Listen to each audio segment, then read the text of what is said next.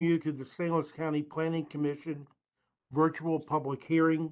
This meeting is for the purpose of hearing presentations on petitions for rezoning or requests for special procedure permits. I'm Wayne Hilsinger, Chairman of the Commission. In addition to the other members of the Planning Commission, I would like to introduce Jacob Trimble, Acting Director of Planning, and the planners assigned to tonight's petitions. The commission will not make a decision on petitions heard this, this evening.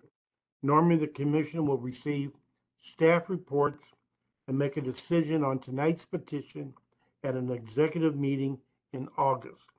Additional comments, letters, and pet- and petitions submitted to the Department of Planning within two weeks of, the- of this meeting will be distributed to the planning commissioners in their executive meeting agenda packet. If additional information is required, the decision may be delayed.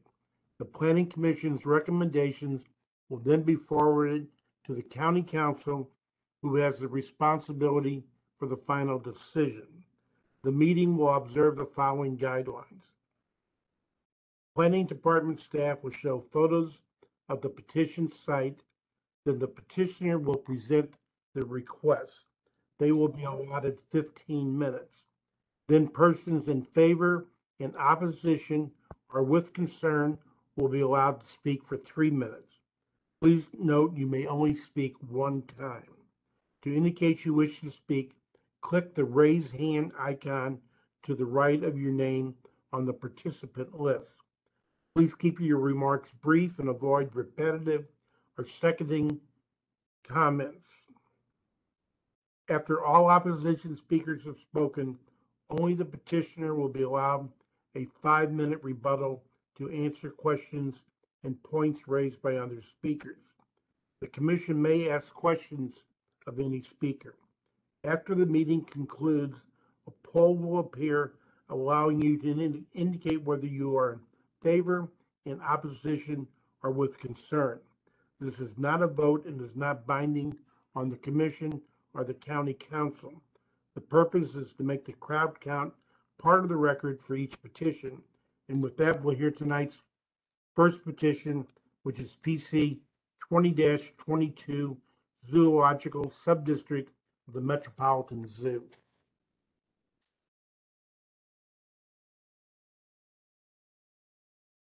Good evening. PC 20-22 Zoological Subdistrict of the Metropolitan Zoo is requesting an R, a rezoning from R3 to PS Park and Scenic for 3.72 acres located on the west side of Columbia Bottom Road, north of Larimore Road and south of Strodtman Road.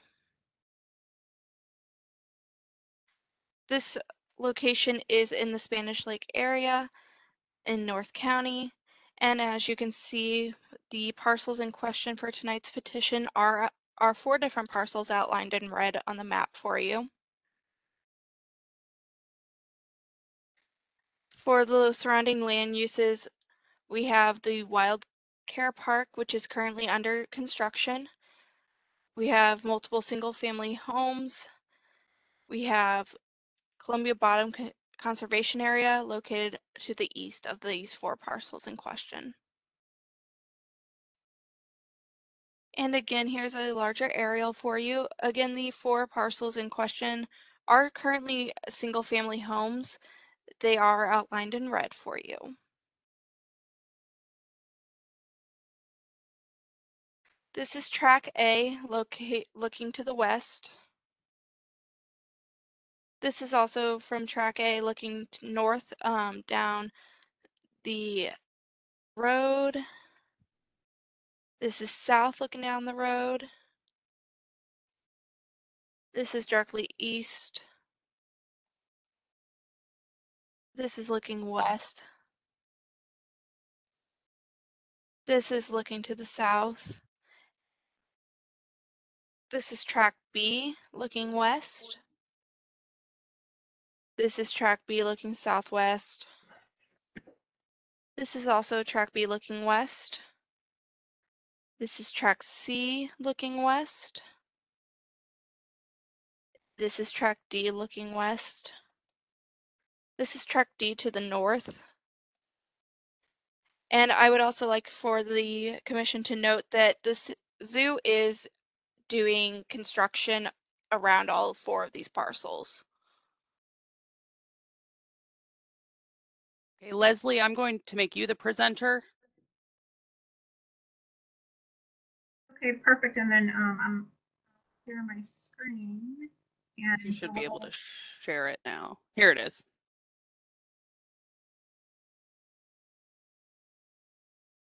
And Joelle will kick us off. Uh, Good evening, Commissioners. Thanks for the opportunity to share um, a little bit about the St. Louis Zoo Wild Care Park and our desire to rezone those four um, residential properties. Um, So next slide.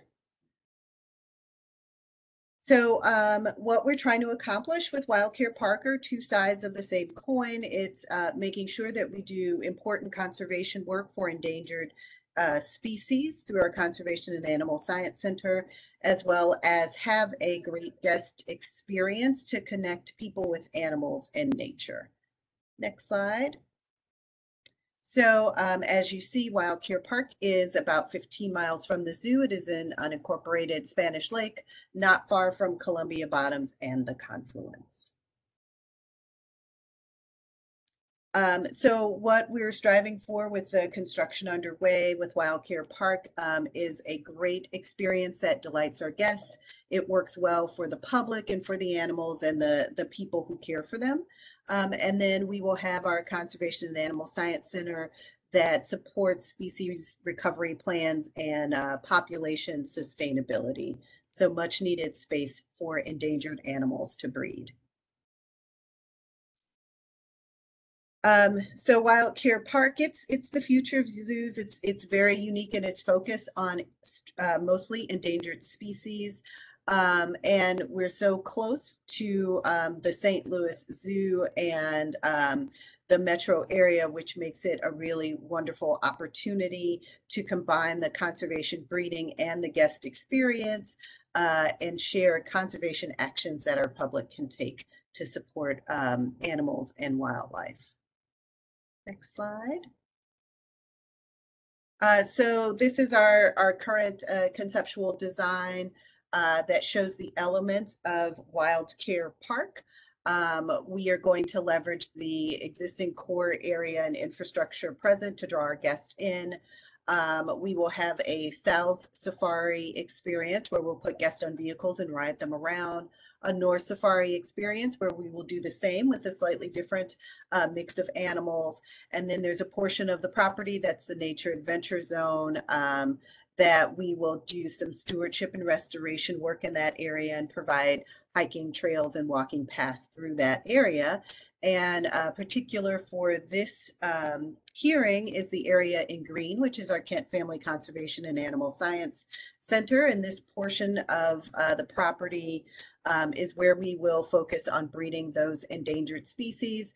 We noted on here the stars where those residential uh, properties occur. Um, and our request is to um, rezone them to parks and scenic like the rest of Wild Care Park from their cur- current zoning of uh, residential. And so with that, I'll let uh, Leslie just briefly describe the properties. So um, I will, the next few slides, I'll just run quickly through um, the property surveys we did for each of the, the starred, um, the starred items on this map. We'll start at the, the furthest south, which is 12505 Columbia Bottom Road. Um, this property is um, roughly an acre um, in size. Moving slightly north, we have um, another property, another residential property, um, at 1254 Columbia Bottom Road. This property is um, 0.75 acres. Continuing to move along north along Columbia Bottom Road, we have 12727 Columbia Bottom Road at um, 0.97 acres. And then finally, our furthest uh, north property um, along Columbia Bottom Road is 12731 Columbia Bottom Road, which is one acre in size.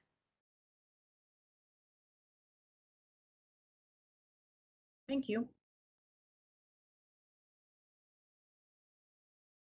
Okay, uh, with that, commissioners, any questions? Anyone? No. Okay, seeing no questions, uh, we'll make it Uh, rather. Wayne, hey, this is Keith. I had a question. Keith, go ahead. When are they gonna have the dinosaurs there? Uh, They're staying at the zoo at least for the rest of this summer. Okay. Okay, uh, anyone else? Seeing none, Mel, you want to take it from there if there, Sure. So if there's anyone who uh, has a comment or a question, please click the raise hand button next to your name. If you don't see it, you can send me a message in the chat. I am the generic host. We do have uh, speaker Tiffany Schick. Tiffany, you are unmuted to give your comments. Hi, thank you so much. As a friend and neighbor here of the Wild Care Park, I was wondering if there are any um, illustrations of what those areas may look like um, moving forward after the rezoning that could be shared. okay, we'll ask them to address that. Thank you. Rebuttal. At this time, I don't see any other hands. Okay. And with that, uh, petitioner, can you answer her question? We are working on uh, some renderings that we will be able to share publicly soon. Okay. Okay. Commissioners, anything else? Any questions?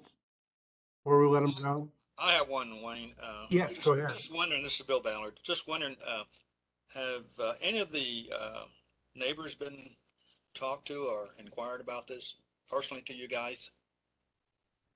About the properties or the, and the rezoning? Yes, your Property and what you're gonna do with it? Um, I know that some of the neighbors know that we have purchased those properties. Okay, And we have shared conceptually with our neighbors, uh, what we plan to do with the park. okay, And any neighbors that are a property, that share a property boundary with us, we, um, um, they have reached out if they have any questions and we have gone to homes to answer them. good. Okay, thank you. You're welcome. Appreciate that. Any, any other commissioners? Seeing none, um, this concludes this hearing. And we'll go on to the next item. Appreciate it and thank you. Thank you all. Have a good evening. You too. Thank you. Next, we'll go to the last item, which is PC 21-22, Robert Diestelkamp. Good evening. Uh, talking about PC 21-22. Petitioner is Robert Diestelkamp. The request is to move from uh, C2, C2 to the C8 on a 1.18 acre tract. Uh, the location is the northwest quadrant of Sheridan Road and Boundary Road. So you can see from the context map, um, the point of interest is in South County, right off of Telegraph Road near the Jefferson Barracks area. From this land use map, we can see uh, due east, there's quite a bit of parkland and green space. Um, on the Telegraph Road corridor, it's a mixture of residential and commercial uses. And beyond that frontage, um, uh, the areas and neighborhoods are dominated mostly by single family homes. Here's a larger context map of the general area.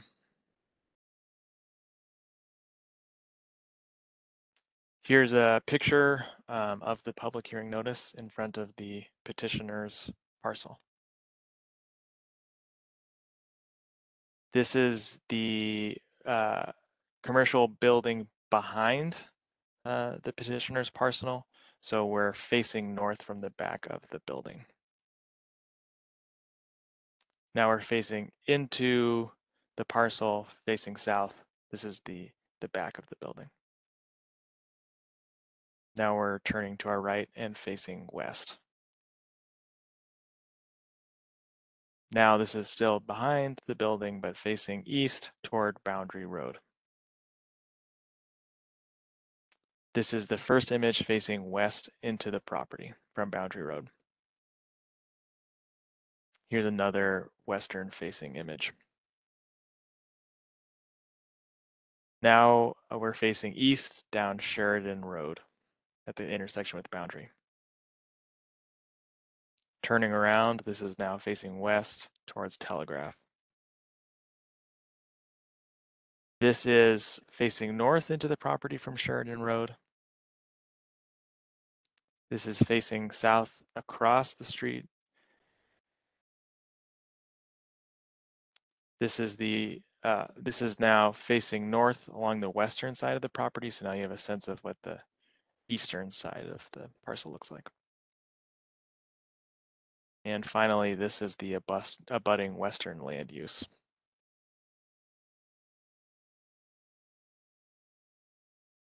Okay, Clay, I'm making you, uh, I think I'm making your computer the presenter.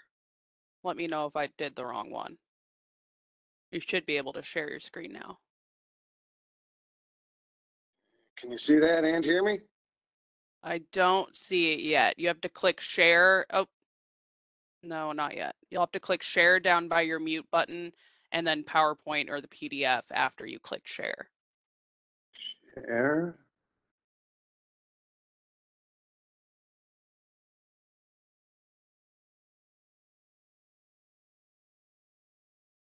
This. It's coming up now. All right. So can you see it and hear me?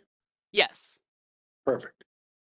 Uh, my apologies. I don't know why my computer audio is breaking up, but I'm talking to you through my phone and working the computer on my, my laptop here. So, um, th- this, uh, this, this request is to, um, basically to use a site, um, that was formerly, uh, an AT&T, um, an AT&T construction operation um, to use it as a general contractor. It's at 201 Sheridan Road.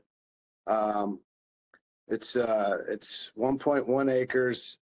The um, site is almost all existing. Um, we are proposing some landscaping, but um, you know, in general, very little, um, very little change to the site. Um, this this aerial depicts it pretty well. I've got another colored one, but I think this one is about as easy to see as anything. So that dark area that you see there um, is the is the building. There's a there's a office building that's on the right side or or east side, right along Boundary Road.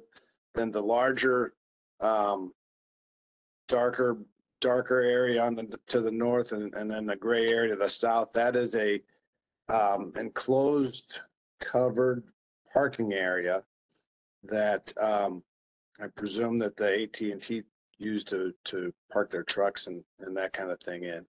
Um, so there's there are existing two entrances off of uh, Sheridan Road. One goes to the parking lot in front of the building along Boundary Road, and then one accesses the uh, the space to the rear. Um, this is the site plan that was presented, uh, a little bit larger area. You can see that we are proposing to landscape along uh, Sheridan and along boundary um, roads with um, landscaping to meet the um, current landscape requirements.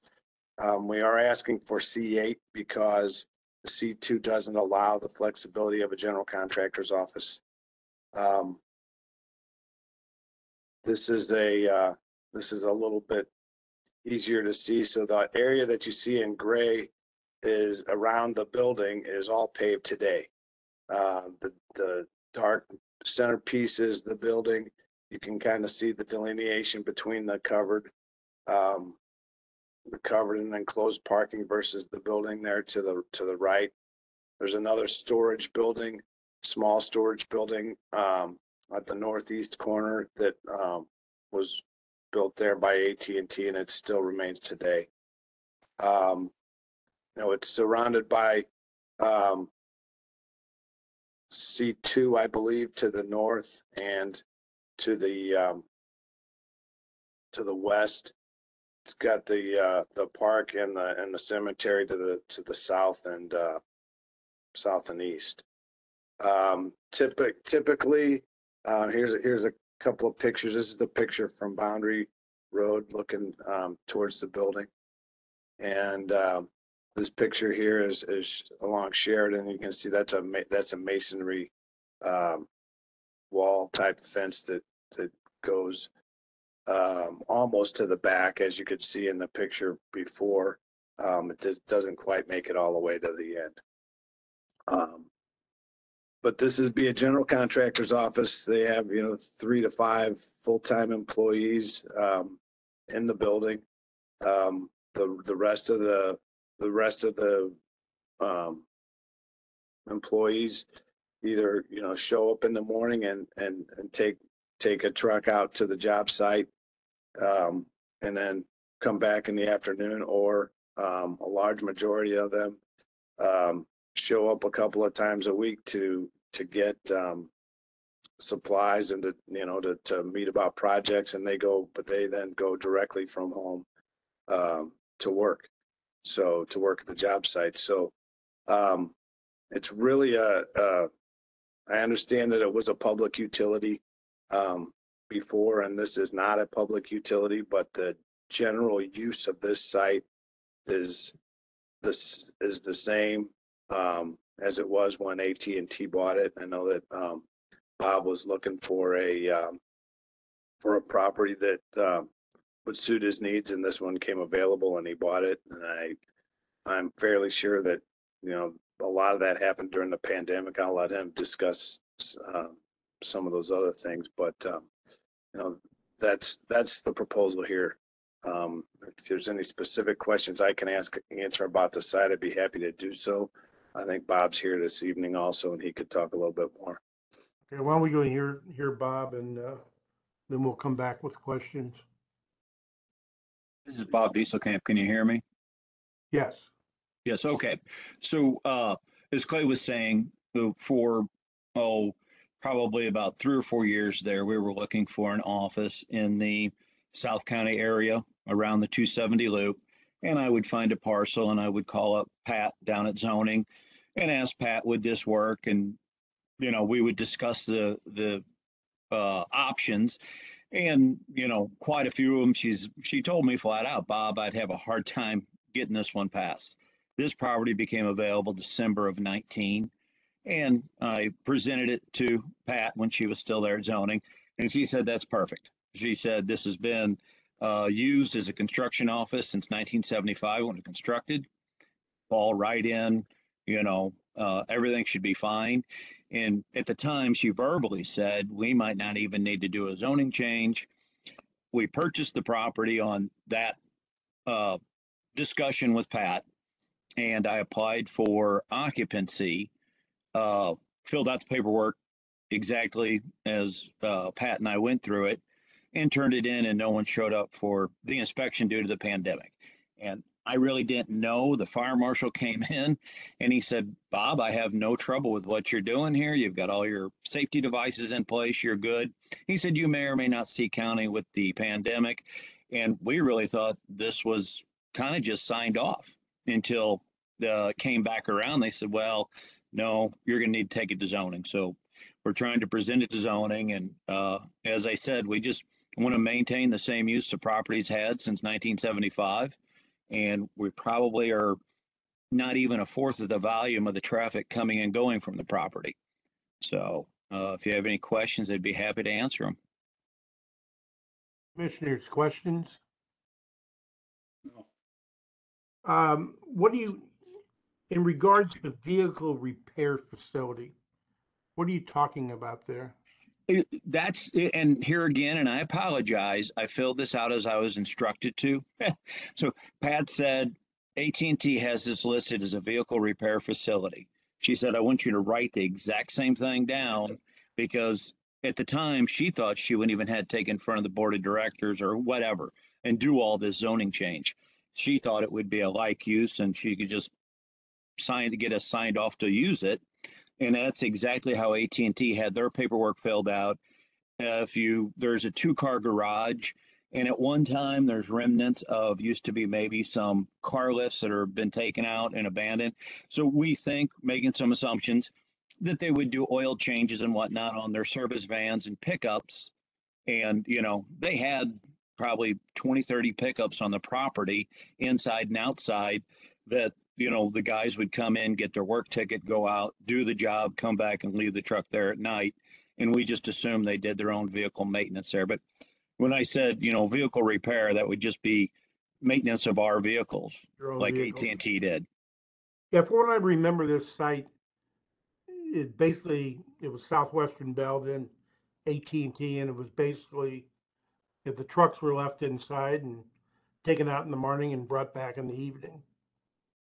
Um, So I guess, I assume then they were doing some, uh, the oil changes and such inside the garage. Um, the other question is, in terms of outside storage, uh, what kind of items are you looking to do? If it would just, the only thing we would keep outside would be behind the screen wall in the fenced area that you can't see from the road. You know, your, your pictures are very clear of what we're keeping there. And, uh, just minimal items. I mean, there might be some, we're, we're not a storage supply yard. If there's ten or fifteen pieces of material that are needed for a job, there's times I'll have them drop ship there and then load them on a truck, you know, a few days later and haul them away. Some long studs, but nothing, we won't have uh, piles of debris out there, put it that way, sir. Okay. Uh, Mr. Mr. Hilsinger, at some point, may I also ask a couple Yeah. clarifying questions? Go ahead. Uh, Thank you. Um, I, I'm gonna, to echo uh, Chairman Hilsinger's question, um, you know, staff, I, I think we really need to know that what the materials are going to be. Um, so kind of tell, detailing the nature of them. Um, We're- we're, uh, Additionally, what, additionally, what sorts of vehicles are you going to be having um, parked here at the site? How many and of, of what type? And additionally, can you describe the nature of your use that's immediately adjacent across the street? And can you, can you discuss a little bit about that site and how this is going to interplay or, or anything that's been going on across the street as well? Well, Clay Vance is working on a whole separate proposal for what can happen across the street, and that's going to be another thing we bring to you. So across the street was purchased because it was a uh, uh, basically an eyesore, and we uh, I'm sorry, I got things popping up on my computer for some reason. There was some homeless people living in some abandoned houses, and it was a very rundown area. We were just trying to clean up the neighborhood. And I think if you ask any of our neighbors, they're thankful for what we've done for the neighborhood by getting rid of that. And uh, we are going to present a plan for across the street to you. But tonight, we're here to, you know, address the, the first needs of this building. And our equipment is pickup trucks, service vans, and I, we own uh, four pickup trucks and two service vans. We don't have a fleet of a million cars coming in here. As I say, we're nowhere near the impact that AT&T Southwestern Bell was on this property. What about So- equipment? Any large equipment? But we do have a few tractors, yes. Okay. I think it would be helpful for you to fully describe to the commission the full nature and extent of everything you're going to store and every vehicle that you're going to park. Okay, well, we have a couple small skid loader tractors. We have a couple mini excavators that we can actually park inside if we, and I've had them parked inside. We uh, have uh, two dump trucks and we have four pickup trucks and two service vans. And we're, as I say, we're not trying to store a warehousing operation as a reseller if we have a special order product come in and it's, you know, like I say, some long material, I might have it drop there and it will sit there for a few days until we put it on a trailer and haul it to a job site.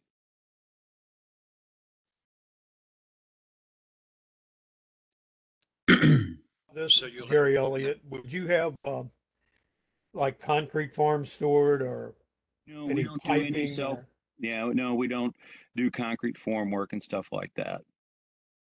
Okay, what about piping?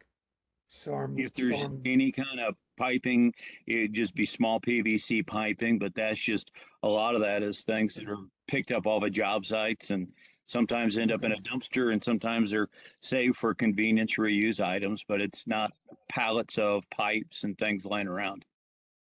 okay. You It- said you'd have, you have, uh, skid loaders, mini excavators, two dump trucks, uh, two service van and, uh, two pickup trucks. What would you use? to Pickup pick truck, sir. I'm That's what sorry. saying. Two pickup trucks.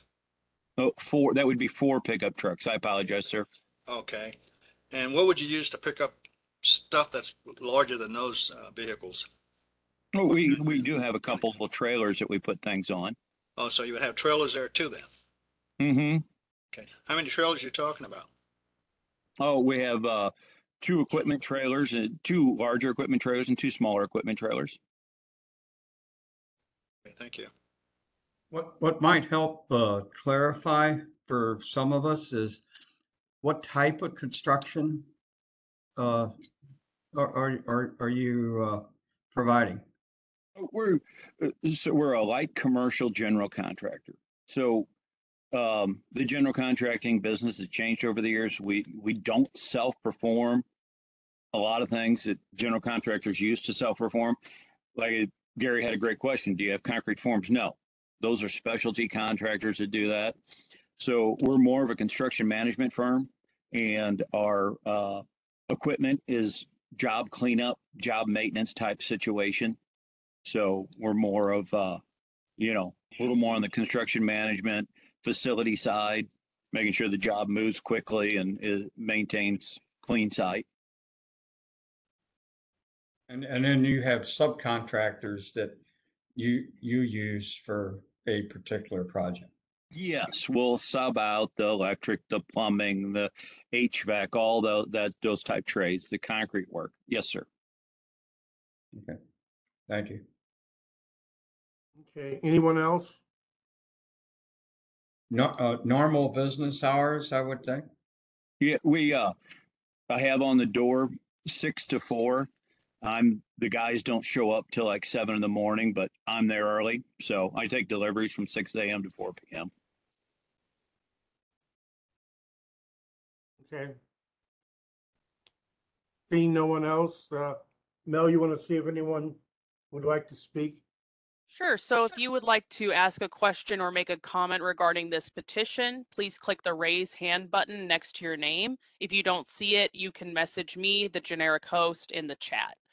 Uh, first, we have Philip Kaufman. Mr. Kaufman, you are unmuted to give your comments.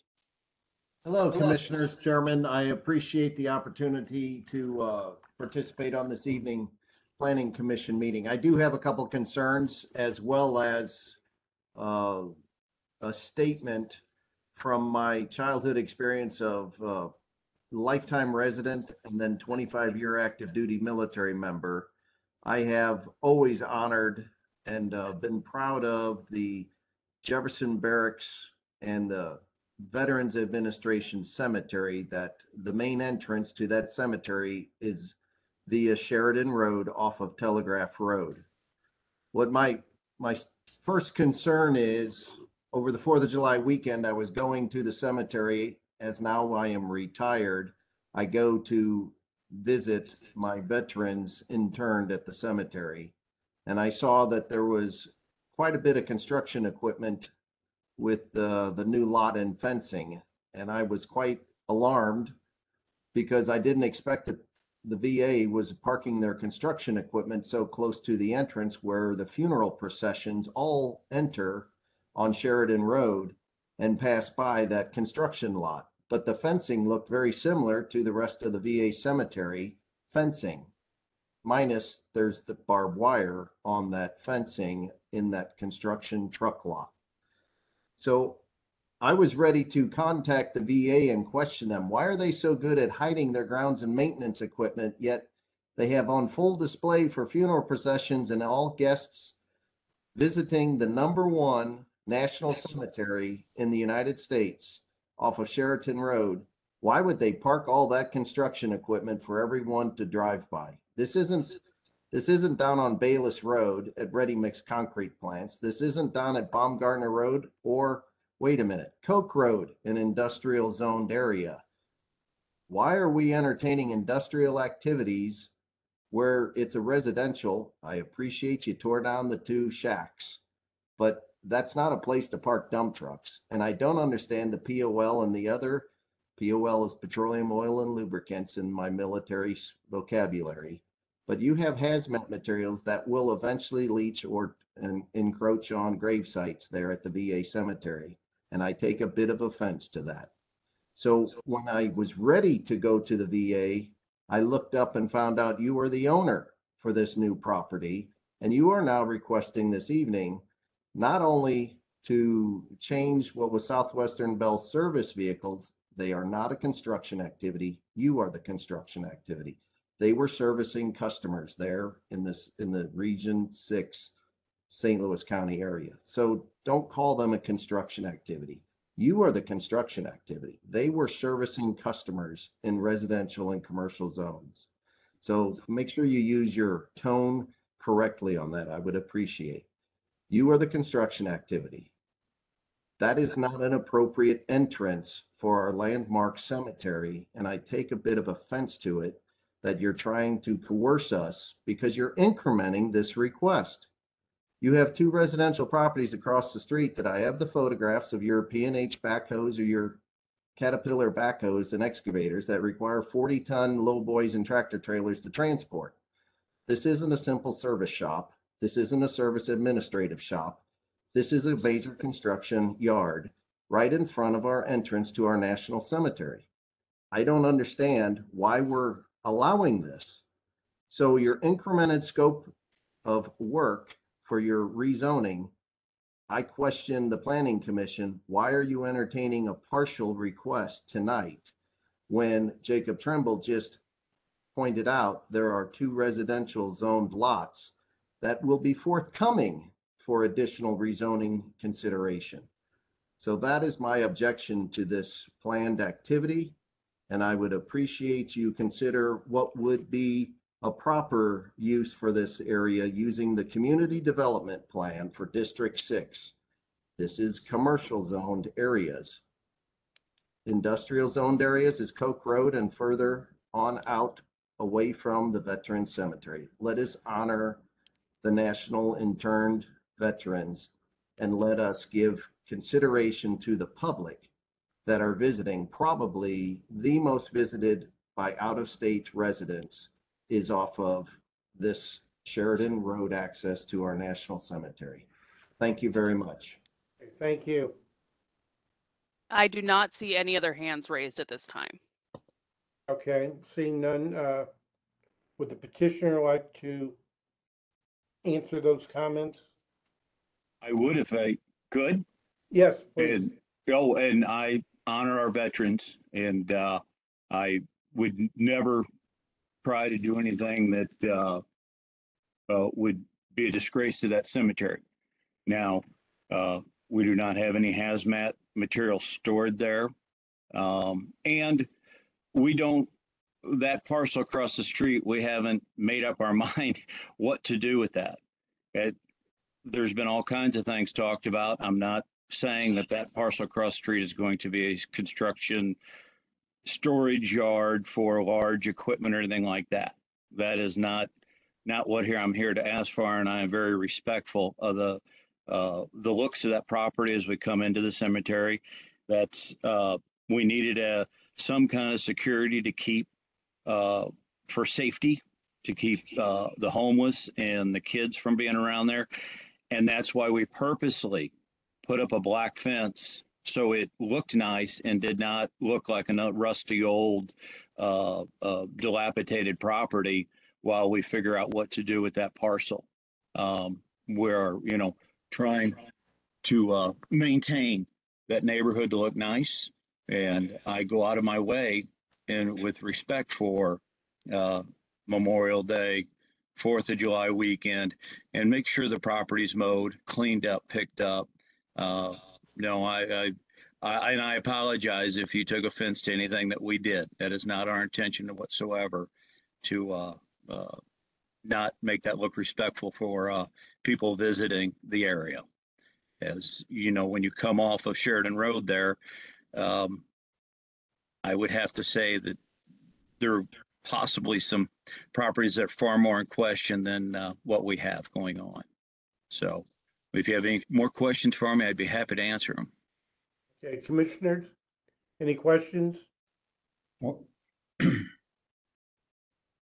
Seeing none, uh, this concludes this hearing, and we, we thank you and everyone who participated. And with that, uh, we'll, we have nothing for the good. No. Dick? Okay, and with that, we'll take a motion to adjourn. Make a motion for adjournment. I second it, Bill Ballard. All those in favor? Aye. Opposed, ayes have it seven zero. And we were adjourned till, uh, when's your next meeting, Mel? July 25th, it should be a 4 PM meeting, since it's Okay. just an executive meeting. All right. Thank All right. you. Thanks, All right. everyone. Appreciate Have a it. nice evening.